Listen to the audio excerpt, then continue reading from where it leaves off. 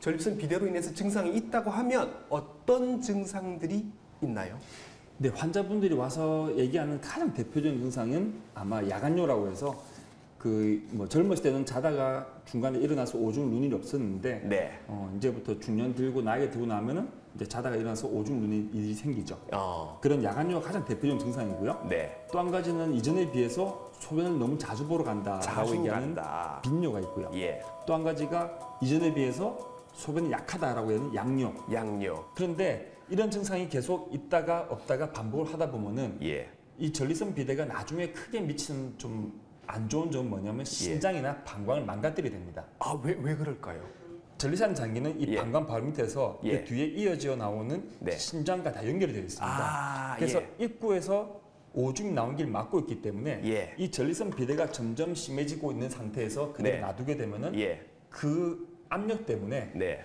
방광과 신장이 망가지게 됩니다. 아. 그래서 어, 심한 경우에는 이제 신장이 원래 아시다시피 어떤 인체의 대사물들을 걸러주는 역할을 하는데 네. 그런 것들을 못, 못하게 되는 요독증 같은 예. 심각한 합병증이 생길 수 있습니다. 아, 자, 그리고 이쯤에서 이제 또 남성분들이 궁금해 하실 것 같은데 네. 전립선 비대증이 남성의 성기능과도 관련이 있느냐라고 궁금해 하시거든요.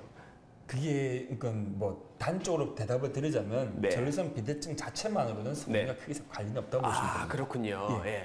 근데 이 성기능이라는 게 음. 어, 대부분 환자들이 얘기하는 성기능이라는 건 성생활하는 과정에서 네. 발기 정도라든지 어떤 사정한 과정에서 어떤 만족도가 떨어지는 경우를 얘기하거든요. 어, 어. 그런데 이 배뇨 증상이라는 거, 네. 방금 말씀드린 뭐 야간뇨라든지 급박뇨라든지 빈뇨라든지 이런 증상들이 예. 실제로 사람 생활에서 너무 불편하기 때문에 그렇죠. 성관계를 하는 동안에 예. 발기라는 거는 이 마음이나 모든 상태들이 안정됐을 때 가장 극대화되는 효과를 나타내거든요. 예. 그런데 그런 증상들이 있으니까 네. 하기 싫고 예. 또 하다가 보면 그런 증상 때문에 불편하고 어. 그래서 성격이 떨어진다고 하는 거죠. 아, 아, 보통 걱정하시는 게 이런 게 있습니다.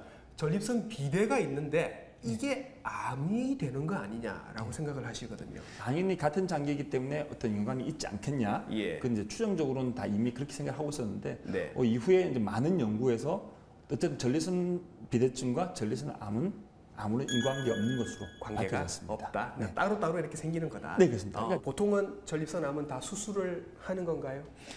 어, 전립선 암뿐만 아니고요. 네. 어, 모든 종류의 암 환자에서 가장 치료 원칙은 네.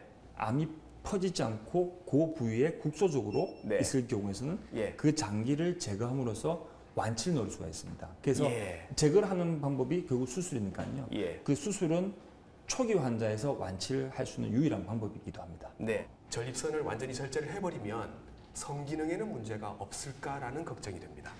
실제로 그렇게 수술하고 나면은 이전에 한 번씩 제가 어. 전공의 때 봤던 환자분들이 아직도 오시거든요. 예. 그런 분들과 비교해 보면 정말 어떤 요실금이나 발기 어. 쪽은 발기부전 쪽은 확실히 낫긴 합니다. 예. 하지만 한 가지 아셔야 되는 거는 정상적인 전립선이나 한 장기가 없어진 거거든요. 예. 이 수술을 하고 나면. 네. 근데 그걸 대신할 수 있는 어떤 다른 어떤 보형물이나 다른 물질이 들어가 있지 않기 때문에 예. 수술 전과 같은 네.